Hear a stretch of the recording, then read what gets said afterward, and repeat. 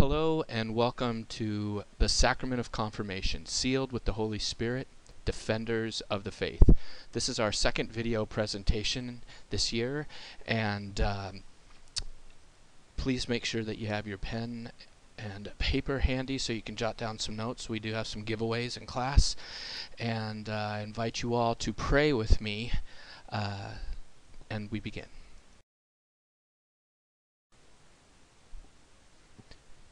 The Serenity Prayer. In the name of the Father, the Son, the Holy Spirit, Amen. God, grant me the serenity to accept the things I cannot change, the courage to change the things I can, and the wisdom to know the difference. Come, Holy Spirit, fill the hearts of thy faithful, and kindle in them the fire of your love. Amen. All right, let's review the last time we got together, which was two weeks ago. And uh, at that time, the gospel was the feast of Christ the King, um, Christ the King of the universe. And, and this is a great example of that concept of R3 that I kind of introduced uh, a, a few weeks ago. It's the remind, reaffirm, and redeem. Not to be confused with RG3, who uh, is the quarterback of the Washington Redskins. But I digress again and again and again. Um, this is a fantastic gospel because uh, the good thief is the teacher here, and he is um, basically instructing the his criminal in arms, so to speak, um, on on how he should behave. So his cohort there on the other side is like, dude, you saved others, why don't you save yourself? But he's rebuked by the good thief, and he says, Do you not fear God? Do you not know who this man is? And he goes to explain that they've done everything to deserve their crucifixion, but Jesus has not done anything. And so he speaks directly to Jesus when he says, uh, Remember me when you come into your kingdom. He's reaffirming his faith, his hope, and his love in, in Christ. And then Jesus turns to him and says, Today you will be with me in paradise. Um, and the good thief is redeemed and again, I just want to bring this up as just a, a good example of we need to constantly think about how Scripture reminds us how we're given opportunities to re- uh, reaffirm our, our love for God, and and that it is the will of the Father that we are in heaven with Him. The other thing we talked about are the twelve truths of the Creed.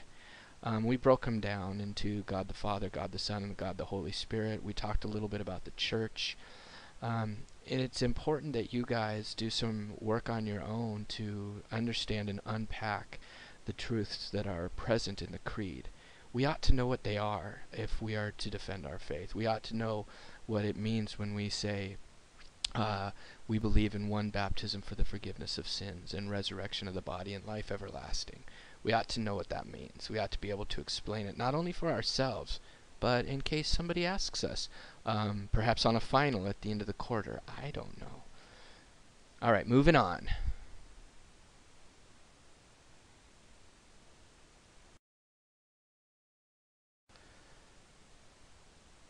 All right, so we're going to try and answer the question, what is confirmation? And we're going to start big and then hopefully narrow it down to a couple key items. Confirmation, first and foremost, is one of the seven sacraments of the church. Um, it is the second sacrament of initiation. It is a sacrament of initiation. Well, what's a sacrament? You might remember that a sacrament is an outward sign instituted by Christ to give grace. Um, you also uh, know that a sign is something visible, something tangible.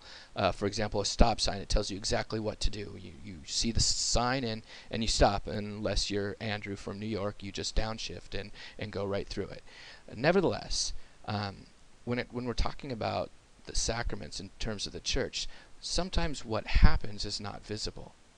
But we can say that it is efficacious. It does what it intends. And we can look at the sacrament of baptism to give us an example of how this works out. If you're looking for a tangible sign, a visible sign, it's water. Water was used um, in the olden days, in, in, in the history of, of the Israelites, as a sign of purification, a sign of cleanliness. Actual word baptism means to emerge. Um, Obviously, there are other fantastic benefits of water, uh, but the grace that is bestowed is the idea that we are cleansed of original sin, and for that matter, all sin when we are born. So the outward sign is the um, the, the dumping or the immersion into water three times with the uh, blessing of the Trinity and the Father, the Son, and the Holy Spirit. Amen. And the grace we get from that is the removal of original sin. And what does that look like? It means that we are uh, taken in as adopted sons or daughters of God, that we become members of the body of Christ, and that we're once and for all marked spiritually uh, with that indelible mark, saying that we are God's creatures. And confirmation then would be the perfection of our baptismal gifts. Well, this means that we are given some infused virtues um, when we are baptized, and those would be faith, hope, and love, as well as some of the cardinal virtues, which are prudence, justice, temperance, and fortitude. They are called infused because they are gifts from God poured into us at baptism, and virtues because they are powers or capacities to love God rightly in the various situations of our mundane human existence. Just kidding, it's not mundane. Um, we are given these at baptism. They are perfected with confirmation and strengthened through Holy Eucharist. Those are the sacraments of initiation, and they're called initiation because they lay the foundation for every Christian as we are invited by Christ to be redeemed but we must accept the invitation, be active participants in the life He has carved out for us. Confirmation is necessary for the completion of the sacramental graces given at baptism. I know that's a lot to swallow. Uh, we'll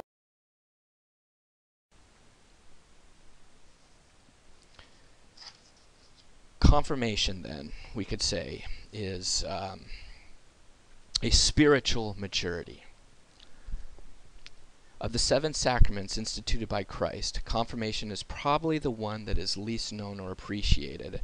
And we kind of can get an understanding of that because it focuses on the workings of the Holy Spirit, and sometimes the Holy Spirit is forgotten person of the Trinity. The sacrament of confirmation can be described as a sacrament of spiritual maturity.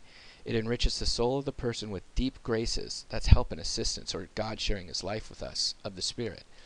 Confirmation is the sacrament that calls recipients to witness courageously the gift of faith by word and especially by the example of their lives. We look at uh, Vatican II's dogmatic constitution on the church, and, and it says Catholics are more perfectly bound to the church by the sacrament of confirmation, and the Holy Spirit endows them with special strength, so they are more strictly obliged to spread and defend the faith both by word and deed, as true witnesses of Christ. That's really what you're saying yes to. You're saying that I'm willing to do that given the capacity that you have given me. Um, how do we know about confirmation? Well, uh, this sacrament harkens back to the great Pentecost event. We can look into Acts 2 when the disciples were huddled in the upper room and the Holy Spirit, whom Jesus had promised them, came upon them in the form of a mighty wind and tongues of fire. The disciples gathered there. Um, they were commanded by Jesus to take the good news of his death and resurrection to the ends of the earth. Yet those gathered there, up to that point, really lacked an understanding of what Jesus' life and death fully meant. But at the Last Supper, Jesus assures them that the Holy Spirit would come upon them and teach them all they need to know. They would be strengthened to go everywhere, proclaiming Jesus as Lord and Savior. Pentecost was the moment of their confirmation. So we said that we were going to be sealed with the gifts of the Holy Spirit, or sealed with the Holy Spirit to defend our faith. At the confirmation mass, the bishop will hold out his hands above the confirmandi, invoke the Holy Spirit, and then seal them with sacred oil. Um, and those are the outward signs. Um, but what happens is that we're given gifts, and these gifts um, are wisdom, understanding, knowledge, counsel, fortitude, piety, and fear of the Lord. And if we take those and we look at them in terms of the apostles in that upper room, they needed these things from the Holy Spirit so that they could better understand, better speak, better evangelize what God was telling them to do through his son, Jesus. Go out to all nations, baptizing them in the name of the Father, the Son, and the Holy Spirit. And remember, I will be with you always. He is always with us in the Holy Spirit. The, these gifts of the Spirit perfect the um, virtues and enable us to live more virtuously and love God more perfectly. Wisdom perfects charity in order to judge divine things. Knowledge perfects the virtue of hope. The gift of counsel perfects prudence. The other three gifts perfect virtues of the will and the appetites. The gift of piety perfects justice in giving to others that which is their due. This is especially true in giving God what is his due. Fortitude perfects the virtue of fortitude. I know that sounds funny, but when we look at it and facing dangers and those temptations, we need help. And fear of the Lord perfects temperance. Temperance is making sure that we're strong enough to handle something. Um, so fear of the Lord perfects temperance in controlling disordered appetites and passions.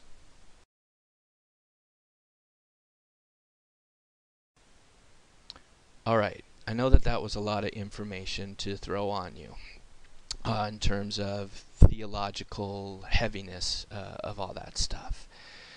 If we have to break it down, your role in, in this whole confirmation process is pretty pretty simple. You need to ask yourself, how's your relationship with Christ? Do you have a relationship with Christ?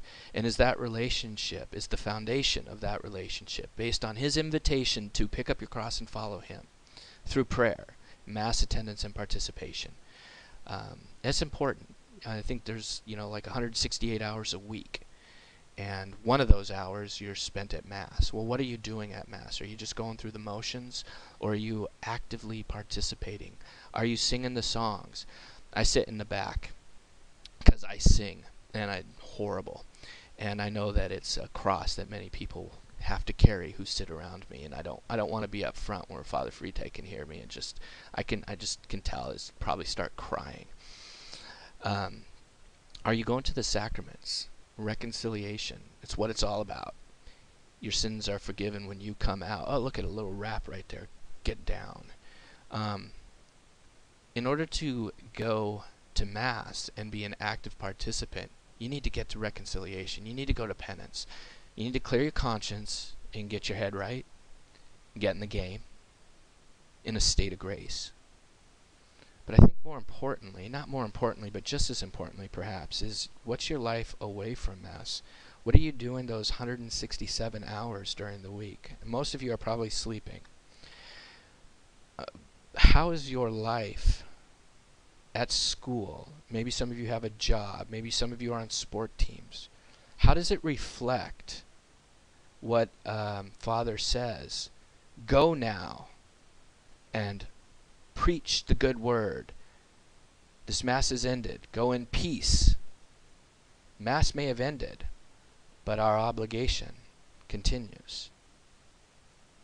So it is a action um, oriented uh, sending, if you will. Um, the other thing is that you must be making this decision for yourself, not your parents.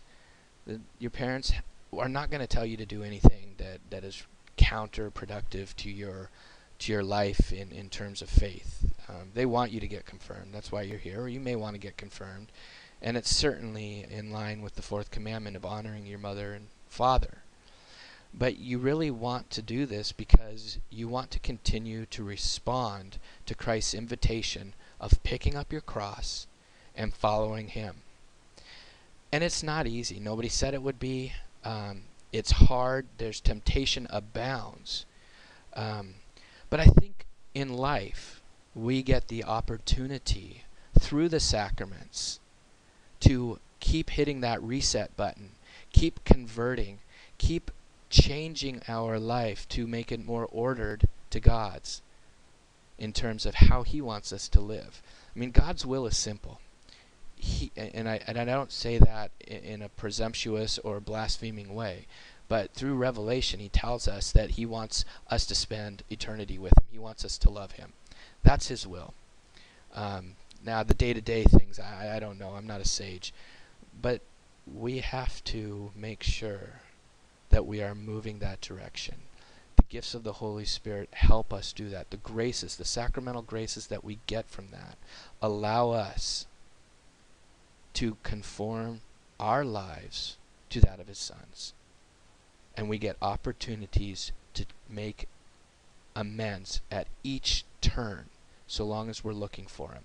I don't know if any of you have seen the 2012 release of Les Miserables. Uh, I don't even speak French, but that's how it came out just now. Anyways, there's a little clip I want you to watch from that.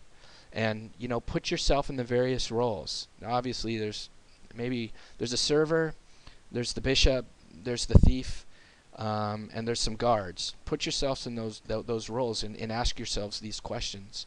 You know, how is Christ speaking to me?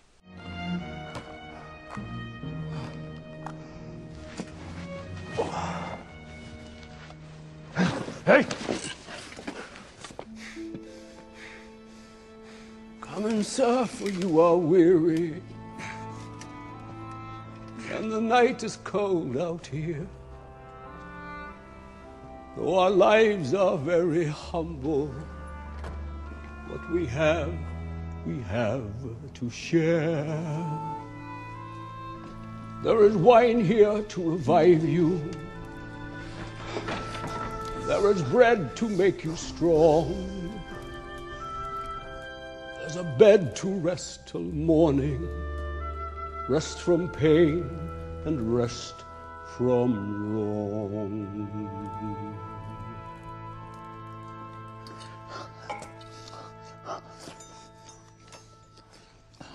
Bless the food we eat today. Bless our dear sister and our honored guest.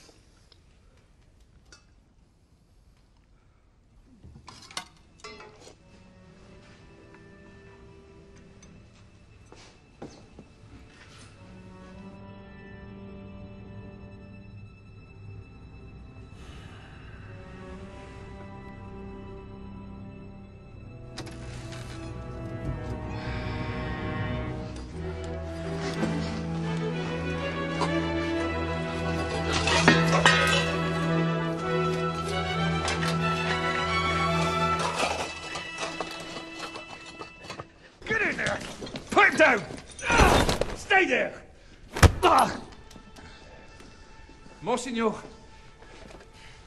we have your silver. We caught this man red-handed. You had the nerve to say you gave him this? That is right. But my friend, you left so early. Surely something slipped your mind. You forgot. I gave these also.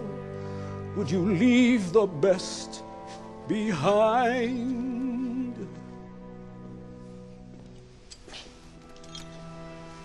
Monsieur, him. This man has spoken true. I commend you for your duty. Now God's blessing go with you. But remember this, my brother. See in this some higher plan. You must use this precious silver to become an honest man by the witness of the martyrs, by the passion and the blood.